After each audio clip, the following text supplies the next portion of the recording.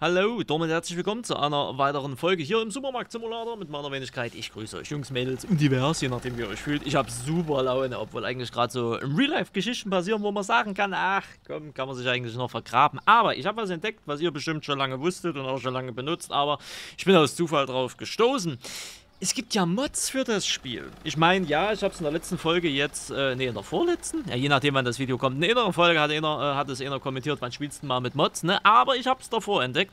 Es gibt Mods für dieses wundervolle Spiel hier, äh, ohne irgendwelche Probleme. Und die habe ich mir jetzt mal zu Genüge geführt, habe sie mal installiert, habe mal ein bisschen so ge geguckt, wie, wo, was, hihi, haha, huhu. Und es ist ja großartig. Also die Mods sind ja wirklich großartig, die es bis dato gibt. Also, das ist ja mal ein komplett anderes Level. Und vorab, ja, es wird ein Tutorial geben, wie man Mods installiert. Das ist relativ simpel, muss man dazu sagen. Aber für alle, die das Spiel ausspielen und der englischen Sprache nicht mächtig sind, gibt es dann von mir das Ganze in Halbdeutsch. Ne? Deswegen, äh, aber erstmal generell. Ich habe ein bisschen gegrindet oder mit ein bisschen meine ich ein bisschen mehr. Ihr seht, wir sind jetzt Level 33, natürlich nicht durch, ist klar, sondern äh, Anfang. Wir haben 4700 Kohle, es ist 8 Uhr morgens äh, mit dazu. Ich habe nämlich offscreen vieles ausprobiert, äh, gerade die Lagergeschichte hier und äh, mit den Lager gab es auch einige Kritik, beziehungsweise sagen wir mal Anmerkungen, Kritik war es ja nicht wirklich, ähm, dass ich das vielleicht immer ein bisschen besser organisieren sollte, bla bla bla. Ähm, Folgendes, ich habe ein Experiment gemacht. Ich wollte im Lager von jeder Ware alles aufgefüllt haben ähm, und dann immer mit einem festen Labelplatz, ne? Äh, um dann halt damit zu arbeiten zu können. Das Experiment ist gescheitert. Ähm, weil mir das Geld ausgegangen ist. Ich habe ungelogen 10.000 Euro, also mit, ich habe da noch einen Kredit aufgenommen, ich habe 10.000 Euro investiert und habe nicht mal im Ansatz alle Waren irgendwie hier reinbekommen. Das muss eine unglaubliche Summe sein, die man investieren müsste, um das komplette Lager hier voll zu ballern, mit allen Waren, die wir bis jetzt haben. Und wir haben ja noch nicht mal alle, ne? davon mal ganz abgesehen. Und äh, ja, äh, deswegen Mission failed. Das war irgendwie nicht so schlau. Und dann haben einige gesagt, ja, Randy, mach mal hier, bring da mal ein bisschen mehr Ordnung rein. Orientier dich auch mal am Lager, dies, das, Ananas, bla bla bla, nicht an den Regalen und hast alles nicht gesehen. Es war, also es war irgendwie alles doof. Ihr seht auch teilweise hier, ne? Das Lager ist immer noch gut gefüllt ähm, mit äh, Waren. Äh, so ist es ja jetzt nicht. Äh, aber hier draußen sieht es teilweise, also teilweise sieht es richtig top aus, ne? Aber teilweise sieht es auch richtig, richtig schlimm hier aus. Äh, und da habe ich jetzt die Restocker schon dementsprechend wirklich komplett arbeiten lassen. Deswegen bewegt der Kleine sich auch gerade nicht, äh, weil er alles fertig hat. Aber, Jungs, Mädels, divers, ne? Es ist vorbei wir brauchen das nicht mehr. Also wir brauchen schon noch ein Lager an sich, ne, so zum Einlagern, aber wir haben jetzt Komfort-Features. Wir haben jetzt Mods und diese Mods sind großartig. Ich darf erstmal generell den ersten Mod vorstellen, den werdet ihr im Laufe des Spiels aber erst feststellen. Autos Light On. Um 17 Uhr geht das Licht automatisch an. Ich muss nicht mehr zu diesem blöden Lichtschalter gehen. Ist das großartig oder ist das großartig? Jungs, das ist großartig. Da kann ich nämlich jetzt hier auch davor äh, diesen, diesen bekackten Kühlschrank hier stellen äh, und kann dementsprechend äh, die, die Lagertür, äh, muss das nicht mehr hier auf dem, äh, auf dem halben Millimeter vor, der, vor der Türe stellen, sondern wir haben jetzt hier dementsprechend Platz, weil ich den Lichtschalter nicht mehr brauche. Ist das großartig? Ist großartig. Pass auf, jetzt kommt das nächste Ding. Haltet euch fest. Es gibt kein Limit mehr. Beziehungsweise, hier seht ihr schon noch das nächste, aber hier, es gibt kein Limit mehr. Ich kann jetzt mehr als 10 Sachen mit einmal bestellen. Ist das nicht großartig? Es ist, ey Jungs, es ist großartig. Dann haben wir hier das nächste. Das ist so ein sogenanntes Lagerverwaltungssystem. Ne? Ihr seht jetzt äh, hier, äh, was, äh, was Phase ist. Ne? Ähm, in, in Rot, in, in sämtlichen Farben, in Orange und so weiter und so weiter. Und äh, die Zeichen hier davor, die sagen uns an, beziehungsweise sagen mir, äh, was denn gerade Phase ist. Ihr seht zum Beispiel Mehl. Ne? Ist 4 auf Orange, 0 äh, und Rot ist 0. Wenn wir uns das Ganze da jetzt mal kurzerhand hier anschauen, sehen wir, aha, ich habe hier vier Pakete im Mehl im Lager, also im Laden stehen. Ähm, ist also das hier vorne. Und ich habe 0 im Lager. Ne? Wenn ich jetzt zum Beispiel einmal hier, ne, natürlich jetzt nicht 16 Mal, ich bestelle jetzt hier zweimal das Mehl. Zack. Äh, Gehe hier einmal mit ran und steppt das Ganze jetzt hier, da wird unser Stocker auch gleich wieder arbeiten äh, wenn, er denn nicht, äh, wenn er denn nicht festgepackt ist. So, jetzt habe ich das Ganze hier erarbeitet. Jetzt haben wir hier das Ganze im Lager und ihr seht, jetzt habe ich hier rot 16 bzw. nach 8 im Lager. Somit sehe ich schon immer am PC, was ich im Lager habe und was ich draußen hier in der, äh, im Supermarkt habe. Ist das nicht großartig? Es ist großartig. Es wird aber noch besser mit den Mods. Auto Price Updater, also automatische Preisanpassung. Ihr wisst ja hier, Preise, dies, das, Ananas, ne, ist ja immer so eine Sache. Ich hab's dann immer mal äh, ein hier auf, machst du mal 50 Cent mehr und hast du alles nicht gesehen. Der Mod, der passt das automatisch an, ne, mit einem Tastenklick und macht das sogar noch so, dass es sinnvoll ist. Also sprich, dass sich in der Regel keine Kunden beschweren und dass immer noch genug Profit ist. Man muss einfach nur zwei Tasten drücken, Achtung, und schon ist das für alles angepasst. Für alles. Und ich rede hier wirklich, guckt euch an, erstmal, die Preise sind glatt, ne? Nuller.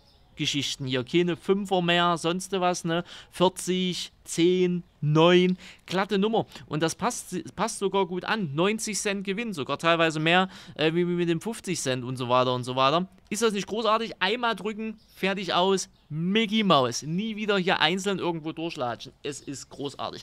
Aber jetzt kommen wir zum großartigsten Mod, den es überhaupt für dieses Spiel gibt. Und das ist der Handscanner. Ja, ich habe einen Handscanner. Natürlich nur virtuell im Gedanken, ist ja klar.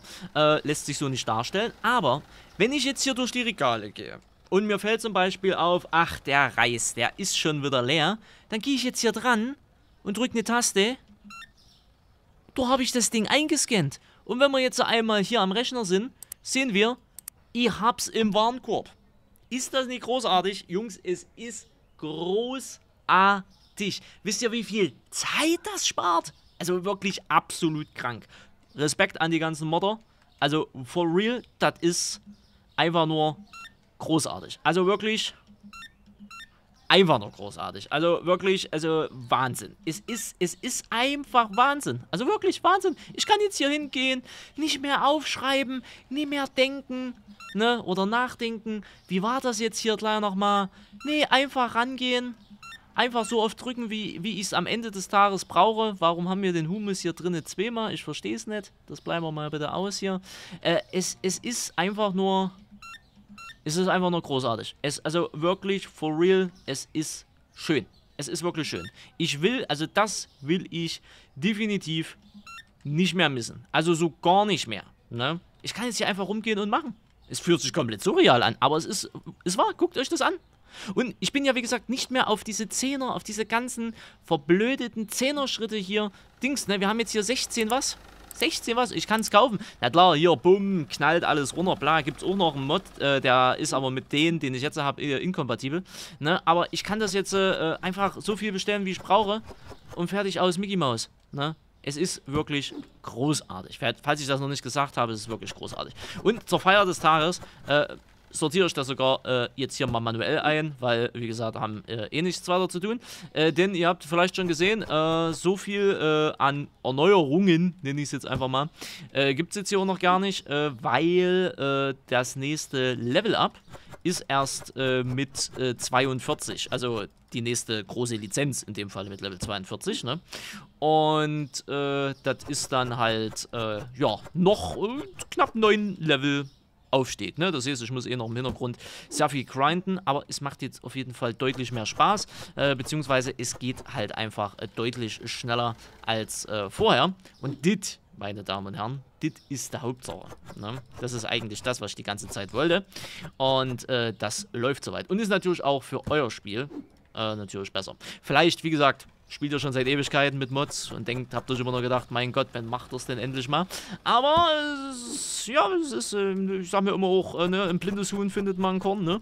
Äh, und bei mir war das jetzt im Endeffekt der Fall. Und ich will es nicht missen. Also wirklich großartig. Das ist das erste Mal, dass ich das. Ich habe es jetzt vorher noch ausgetestet, dass ich mich jetzt hier nicht blamiere, ist ja klar. Ähm, habe jetzt aber noch nicht wirklich viel gespielt, aber ich sehe schon mal, es, es funktioniert 1A. Es, es, es ist wirklich großartig falls ich das noch nicht erwähnt habe, dass es großartig ist. Ne? Ich wiederhole mich jetzt vielleicht. Aber es ist großartig. Es ist großartig. Und das mit dem Lager hier, ja, ach, ich knall das hier rein, ich knall das da rein. Das ist einfach nur ein Zwischenlager. Ähm, und äh, der Rest, der wird dann irgendwie schon. Das irgendwie wird's schon. Irgendwie wird's schon. Ja. Das ist sonst alles so eine Sache. Ne? Es gibt auch noch einen Mod, dass diese Labels zum Beispiel nicht überschrieben werden, also sprich, dass man wirklich einen festen, äh, einen, einen, einen festen Ort für äh, sein äh, Zeug mit haben kann, wenn man das will. Äh, also auch im Lager, das ist äh, bestimmt auch noch eine, eine, relativ angenehme Geschichte. Aber ich glaube, es, es fehlt einfach aktuell an, an Kohle, um das Ganze halt sinnvoll irgendwie zu machen. Und ich kenne mich ja selber, ich kenne meine Ordnung, äh, das wird nicht lange halten sage ich mir da immer wieder. Also es wird halt wirklich nicht lange halten. Äh, von daher ist das auch eigentlich äh, relativ. So, gut, äh, dann haben wir das Ganze aufgefüllt. Genau, hier ist leer. Das, das haut soweit alles hin. Dann gehen wir mal hier weiter. Hier haben aber unsere Boys auch schon äh, gute Vorarbeit geleistet. Äh, dann machen wir, hier brauche ich noch eins auf jeden Fall. Hier können wir noch zwei machen. Das sieht soweit auch gut aus. Äh, Kartoffelsäcke, ich nehme auch mal sicherheitshalber noch mit. So, dann haben wir hier eben, huch, stehe ich hier auf dem Regal. Äh, den Mayo, das kann man definitiv noch immer machen. Die scharfe Soße auf jeden Fall noch. Äh, Klopapier, ja. Äh, Mehl, genau. Auch noch zweimal. Dass wir das alles hier haben. Oh, hier ist ja wirklich alles alle. Also alles, alles, alle.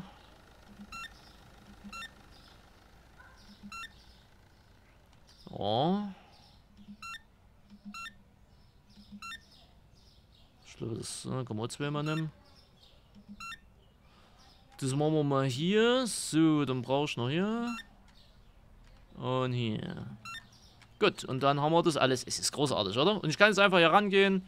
Klar, muss ja so Kohle bezahlen, ist klar. Das sind ja 24 Stück, ne? Aber zack, gut, bricht halt alles so ein bisschen hier hin und her, das ist halt Physik und so.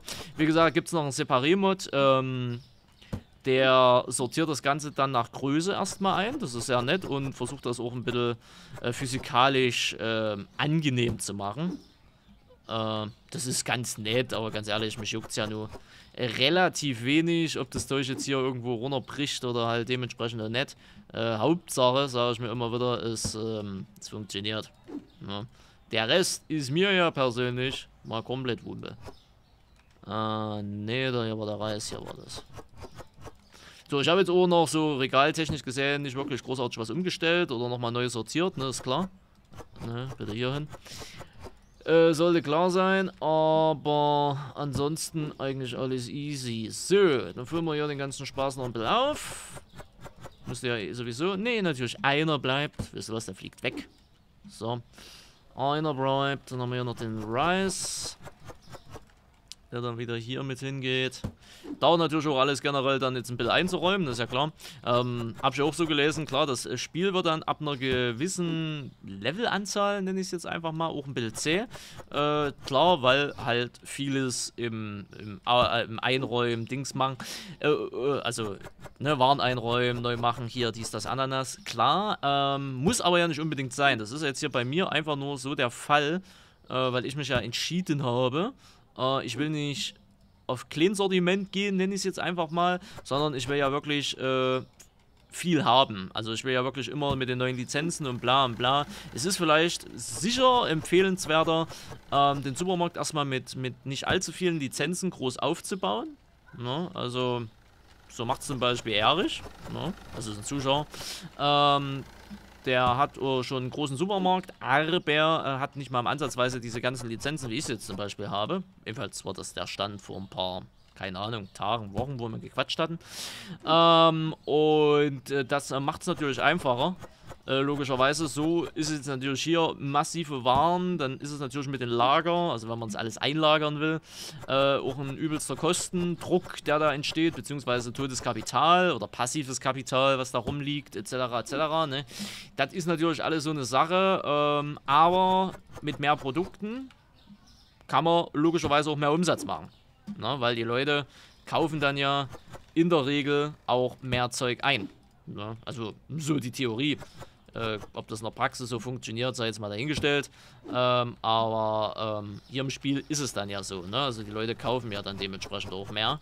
Und das äh, gibt dann wiederum einen größeren äh, durchschnittlichen Einkaufswarenkorb. Ne? Oder Umsatz pro Warenkorb, wie man es jetzt auch immer fachlich richtig sagt. Äh, und das macht es äh, dann natürlich einfacher, äh, auch zu steigen, was, was das Geld angeht. Und so schnell kann man investieren, bla bla bla bla bla. Ne, also so dieses übliche äh, Fach äh, wird, wird gesimmelt, ja.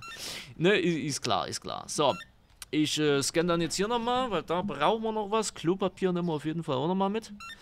Äh, dass das nochmal mit reingeht. Und dann haben wir jetzt hier theoretisch gesehen alles, ähm... Digga, dein Ernst?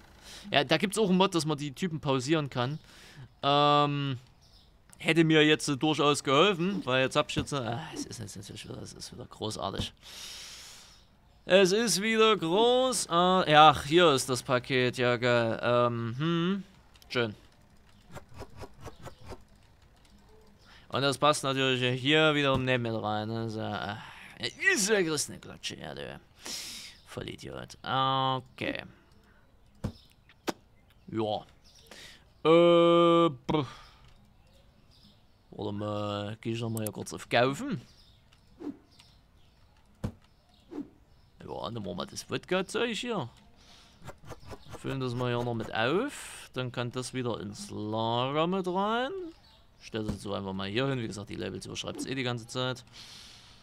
Äh, ja, ja, ja, ja, ja. Warte mal, dann setze ich das mal kurzerhand hier hin. Setz das mal hier raus. Setz das hier hin. Lösch das wieder ab. Danke. Äh, dann gehe ich kurz mit denen hier rein. Dann setze ich das wieder hier raus. Sehr schön. Setz das wieder hier rein. Äh, zack. Jetzt haben wir natürlich das Problem, wir haben ja trotzdem drei solche Kisten hier.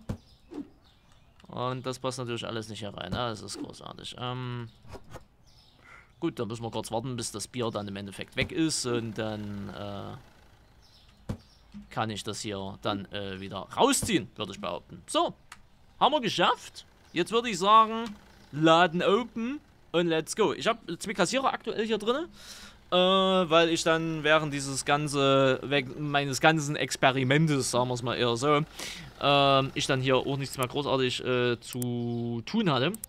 Ich kann aber den zweiten Kassierer, wir können mittlerweile den dritten einstellen, das ist okay, ne? also das geht jetzt mittlerweile, ich habe die Kassiervorgänge in dem Falle abgeschlossen. Äh, aber äh, wir brauchen für den vierten Kassierer hier 1750 Kassierungen. Gut, da brauchen wir Level 50, das ist dann auch Endgame in dem Falle. Ne? Aber ja, äh, deswegen, deswegen. Äh, so sieht's aus, so sieht's aus. Und wie gesagt, ich finde diese Übersicht hier wirklich sehr gelungen. Ne, es zeigt halt wirklich an, was, was vorne ist, was äh, im Lager ist. Und ihr seht halt, ich habe vieles von den neuen Zeug nicht im Lager. Also gar nichts, gar nichts weil einfach das Geld dann ausgegangen ist. Also for real, das Geld ist einmal kompletter Rino ausgegangen. Ne? Also kann man hier wenigstens in der Übersicht sehen, ihr seht hier, ne, die Vierer Eier habe ich 48 Stück drin, Puderzucker habe ich noch 33 drin, Honig. Das ist, das ist alles in Masse. Äh, mehr oder weniger äh, drin. Shampoo hier und diese ähm, Farben äh, symbolisieren auch mehr oder weniger den Lagerstand. Also sprich, weiß ist normal oder ist okay, logischerweise. Äh, Orange ist Achtung, Rot ist schwierig. So frei nach dem Motto. Ne? Ähm, also da ist eben, äh, dementsprechend auch alles äh, mit vorgesorgt. Ne? Und somit läuft das jetzt ja erstmal. Wir haben auch äh, währenddessen jetzt beim Grinden die Möglichkeit, hier einen dritten äh, Refiller einzustellen. Ne? Ähm, das ging dann über die Regale, die im Lager stehen. 13 Stück wurden gebraucht. Ich hatte dann noch eins aufgestellt. Also können wir drei Refiller in dem Falle äh, mit einstellen. Das macht dann aber auch erst dann äh, wiederum proaktiv Sinn, äh, wenn dann äh, hier auch ein bisschen mehr Halligalli generell ist. Also der eine jetzt, der jetzt hier arbeitet, der kommt so oder so nicht hinterher davon mal abgesehen, ne, weil der versucht ja wirklich ähm, immer wieder, äh, selbst wenn noch eh was fehlt, äh, das Ganze aufzufüllen. Das heißt, er geht immer wieder ins Lager, kommt dann, nimmt, also der nimmt nicht immer die gleiche Ware, aber er versucht halt immer äh, das Ganze am Maximum zu halten. Das ist ja so die Aufgabe der Refiller, logischerweise auch. Ne? Äh, also von daher, ja, das ist es, äh, wie es halt ist. Äh, aber der, der eine reicht jetzt per se erstmal ähm, bei diesem ähm, seltenen Geschichten, oder was ist selten hier bei diesen Kartoffeln zum Beispiel, äh, da ist ja immer das Problem, dass halt nicht genug Lagerfläche per se mit dabei ist. Könnte man natürlich auch äh, separat nochmal umgehen, indem ich jetzt hier sage, ich mache jetzt hier zum Beispiel den, äh, die Fläche hier noch links, beziehungsweise rechts davon, links, rechts hier. So, und somit haben wir schon mal achtmal Kartoffelsack drin. Äh, statt nur viermal. Weil das Maximum, was ja Kunden immer nehmen, so habe ich es ebenfalls ja jetzt von der Erfahrung her gesehen, es ist immer dreimal. Also wenn Kunden viel kaufen von einem Produkt, sind es maximal drei. Mehr wie drei nehmen sie sich aus irgendeinem Grund nicht. Ne, ihr habt es ja hier gerade gesehen, ne? Also von daher, ja, so kann ich das halt dementsprechend wieder abscannen hier. Hab's jetzt schon mal wieder in der Einkaufsliste, weil ich sehe, ja, wird eine knappe Nummer. Genauso hier, was der, was der gute Kaffee damit angeht. Ne? Und ich kann jetzt auch sagen, hier nehmen wir jetzt zum Beispiel das Ganze auch zweimal statt einmal. Ne? Hier kann ich dann auch nochmal sagen, jo, äh, wäre nochmal nicht schlecht auf Dings. Aber es sind viele Game Changer jetzt hier äh, mit den Mods, ne? Aber der krasseste Game Changer per se schlechthin weg ist der Scanner.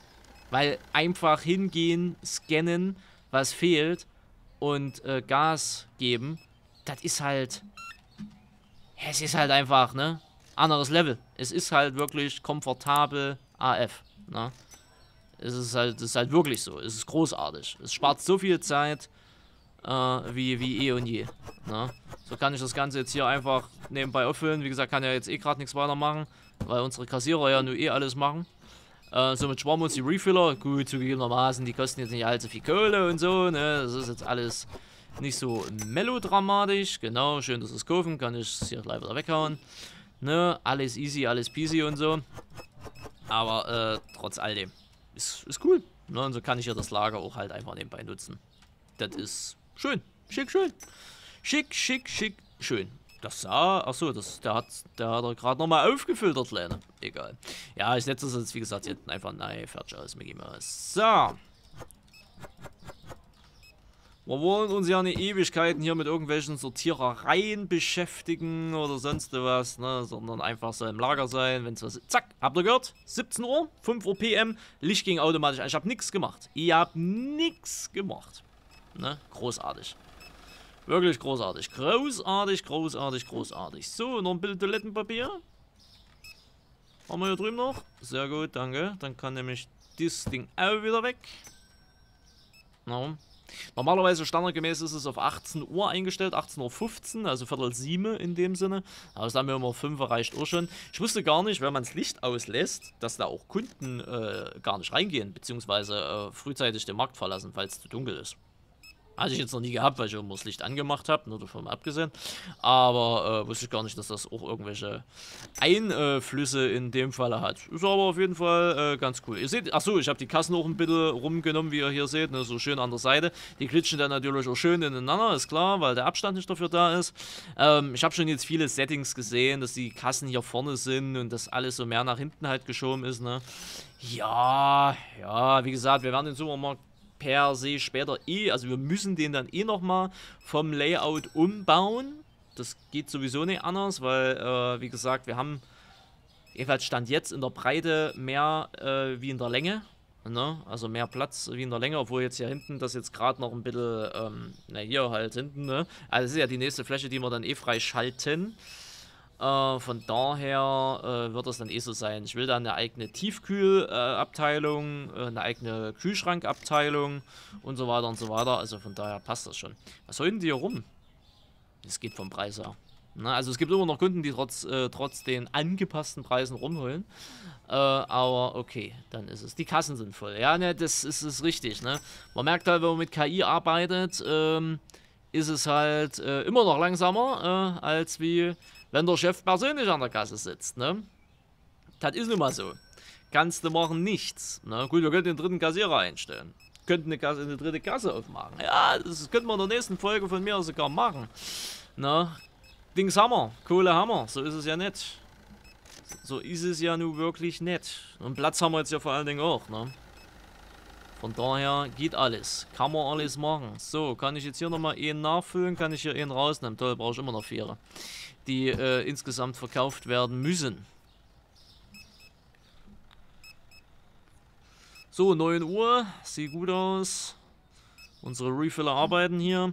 Ich kann jetzt schon mal wieder, denke ich mal, einen zweiten Refiller hier prinzipiell einstellen, weil die sind dann, muss ich sagen, besser für diese Lagergeschichten.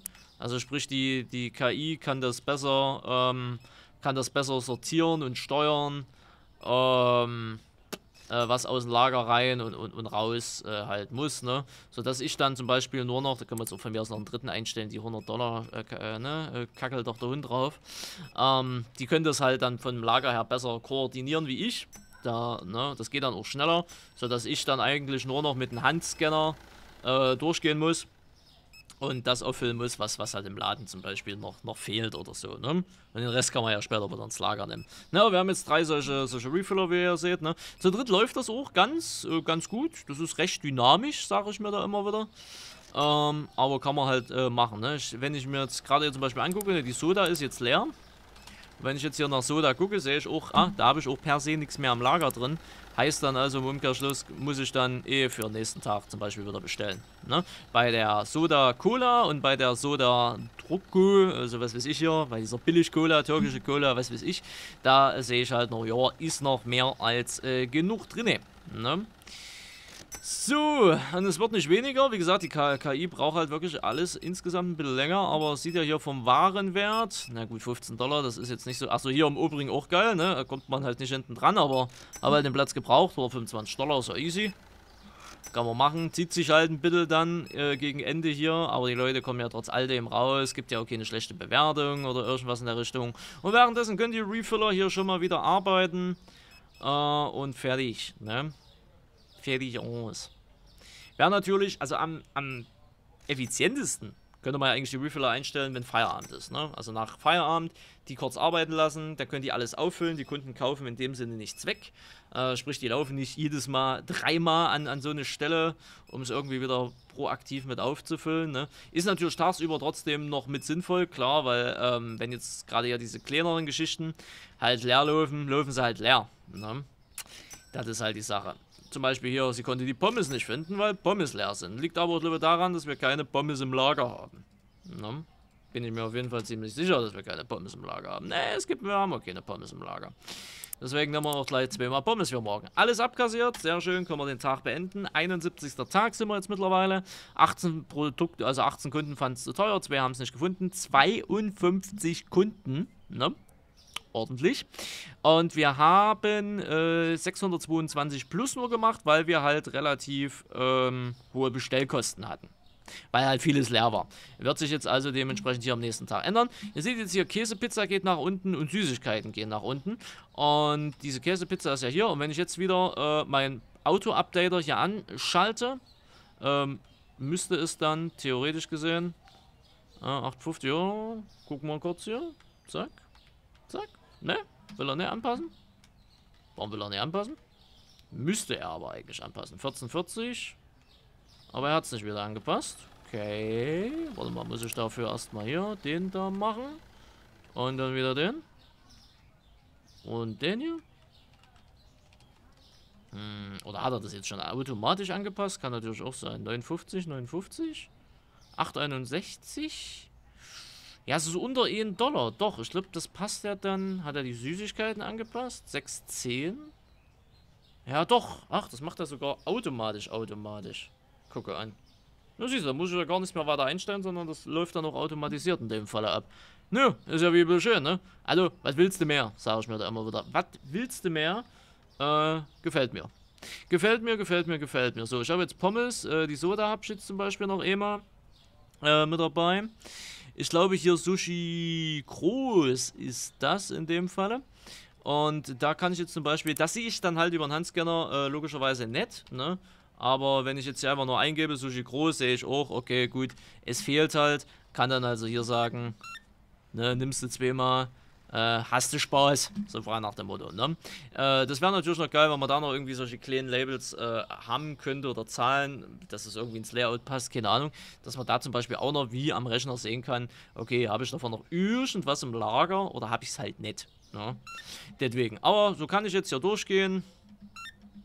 Kann hier drauf drücken, was ich brauche. Was zu viel ist, kommt ins Lager, so frei nach dem Motto. Und somit sollten uns theoretisch gesehen hier nie wieder irgendwelche Dinge ausgehen.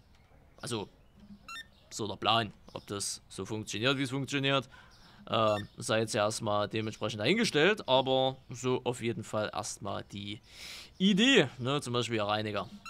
können wir mal einen mitnehmen. Toilettenpapier können wir eigentlich auch immer gut gebrauchen. Die nehmen wir auch noch immer. Und hier nehmen wir noch immer. Oder können wir gleich zweimal nehmen. Alles easy peasy. Ne? 17 Stück, 1000 Dollar. Ja, klar, man wird dann logischerweise auch deutlich oder schnell, schneller eher gesagt, mehr, mehr Geld los, ist klar. Äh, aber das täuscht ja im Endeffekt auch nur, weil wenn ich es äh, vorher so normal reingegeben hätte, ne, also mit Einzelbestellung, wäre ja aufs Gleiche rausgekommen. Ich hätte es halt nur nicht mit, mit EMA bezahlt. So frei nach dem Motto, ne?